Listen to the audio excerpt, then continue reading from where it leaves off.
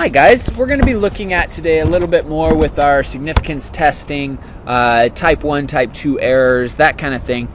But more specifically, we're going to be looking at situations where it's not a normal distribution. Okay? For example, this first one right here, we're testing a coin. Now the coin is the the normal example of a binomial, right? Either it's heads or it's tails, yes or no. All right, so we're going to be tossing this coin 180 times. If the number of heads x is between 75 and 105, then we accept a hypothesis that the coin is fair, otherwise we reject it. So we're going to define the null hypothesis. The null hypothesis, of course, then it says that the coin is fair. If it's fair, then x should be 90. Right? Fair enough. All right, our second, our alternative hypothesis is that it's not fair which means that x is not 90, which means that it could be greater than or less than, which means I am going to be using a two-tail test, okay, looking at both ends, which is demonstrated here in the problem where it says that I'm looking at the number of heads between 75 and 105. So um, right here, I'm going to go ahead and since I'm working on it, I'm going to go ahead and draw what the curve should look like. Now it's not a normal distribution, but we do know that in certain situations, if NP is greater than 5, or if NP, NQ, and if NP is, NQ is greater than 5, then we can estimate this using a, a, normal curve. So it'll look something like this, right? The distribution is similar. Whether it's exactly a normal curve or not is a different question. But as long as we have something like this, it should work. Okay, so I'm going to have my mean, which is hopefully at 90. And then I'm going to take everything from 75 all the way up to 105. Okay, anything outside of that is going to be considered uh, that we're going to reject our null hypothesis.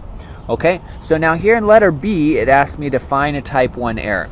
Now, a type 1 error is that we reject the hypothesis, which means we say that it's not fair when really it is fair. Okay? Now that would be, if this were true, if it were fair, then this distribution right here is correct. But if we get anything in this region, we're going to reject it which means we actually made a mistake because we ended up with something out there. Now, II actually asks us to uh, find the probability of making a type 1 error. Well, the probability of that is just the probability of getting it in one of these two regions here. Now, I note that 75 is 15 less than 90 and 105 is 15 more, so it is symmetric. Um, I'm going to actually go ahead and pull up my calculator. Now, being that it's binomial, I'm going to use binomial if at all possible. So I'm going to go down here and I'm going to choose to um, do the binom CDF. All right. And with that binom CDF, then I'm going to put in that I've got 180 trials. I'm assuming the probability is fair, so 0.5. And the x value that I want is not 75 because if it's 75, I actually accept the hypothesis. So I only want to go up to 74. And so if I go up to 74, then I get 0.0103. Okay, so that means that this probably right here is 0.0103. The other one will be the same. Which means the probability of making a type 1 error is the sum of those, which then is 0.02. And then if we round up, it'll be 0.021. All right, now the question is what is the level of significance for this test? and we'll say that the level of significance then is about 2%. All right, so there we've got, and I guess this should be three digits for IB, so 0.0206. All right, then we go on to letter C. Suppose the decision rule is changed so that the probability of a type 1 error is 0.05. What is the new decision rule? Okay, well, if it's 0.05, then that just means that we need a larger area here, right? This is only 3% right now. So if I make it a 5%, that means that I'm going to move this in a little bit. Not a lot, mind you. It's, not a lot. 2%, 3% more, I guess. And so this is going to move out so that I end up having 0.025 on this side and 0.025 on this side. Now at this point, I can't really do that using binomial because now that I have the probability, I can't go backwards with the binomial. So in this case, I'm going to go ahead and bring up my calculator. And on the calculator, instead of doing binom this time, I'm going to go ahead and use the inverse normal because that's one that I can put a probability into. So for the probability, I'm going to put in 0.025. I'm going to put in the mean, which would be 90. And now the standard deviation, you're going to have to remember that the, stand, the, the variance for a binomial distribution is n times p times 1 minus p. Now that's the variance, so I'm, for the standard deviation here, I'm going to need the square root of n, so 180, times p, which is, we're still assuming that it's fair, and then times 0.5 for q, 1 minus p. And if I paste that in, then I get 76.85. So that means that this value right here is 76.85. That means I want to accept anything from 77 all the way up to, well, that's 13 away, so all the way up to 103. Okay, so the new decision rule is going to be something along the lines of accept between 77 and 103, reject anything outside of that. Okay, now I got some middle schoolers coming out here, and this is going to be really interesting. So uh, let me just get through letter D really quick. So we move on to letter D. The coin is actually biased, and the probability of obtaining a head with each coin toss is 0.65. Using the original decision rule, find the probability of a type 2 error. Okay, so let's go back.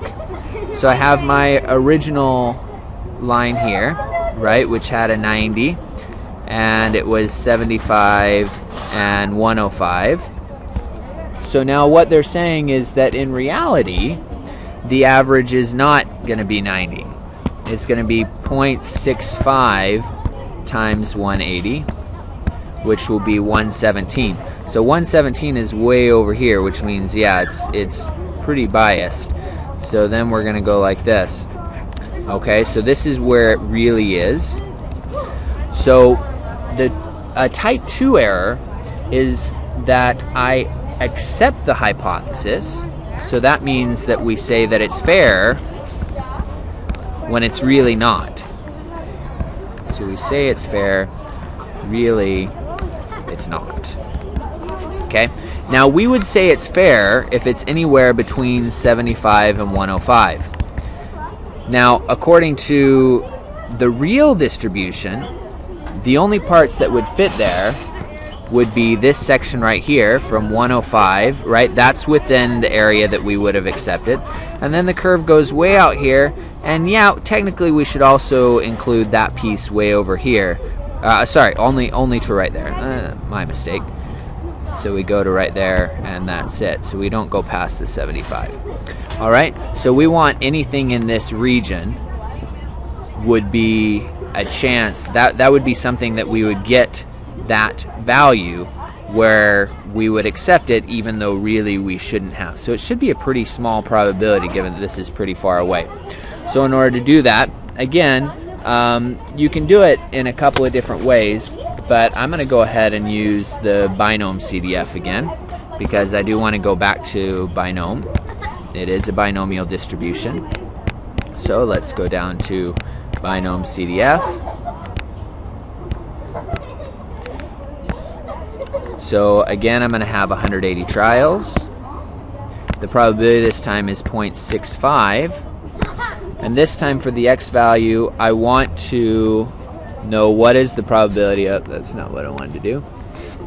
I want to know what's the probability that it comes up here to 105. So I want to include that 105, right? Because that 105 is something that I would accept even though I shouldn't have. Um, so all the way up to 105. And so we'll go 105. And we get our answer, which is 0.03737, 0.03737. And we go back. So this right here is 0.03737. And really, I shouldn't count this because if it was out here, I would reject it. And I should have rejected it because it's different. But you'll notice that if I do that, then what I end up getting, if I just go second entry and I put in here instead of the 105, if I put in the uh, 74, the probability is going to be so small that it doesn't really affect my answer, right? It's so far away from my mean that the probability of actually getting that, if the real number is 117, is, is pretty negligible. So therefore, my final answer will be, for the probability of a type 2 error, will be 0.0374, and that will be our answer. All right, so there you go. There's one example. We'll look at a couple others in other videos. Ciao.